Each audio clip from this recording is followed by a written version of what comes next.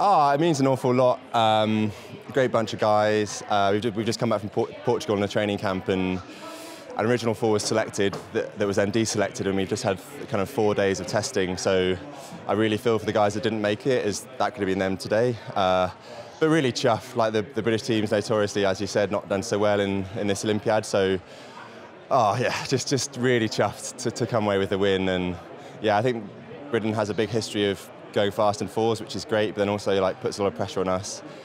Um, but yeah, just really chuffed.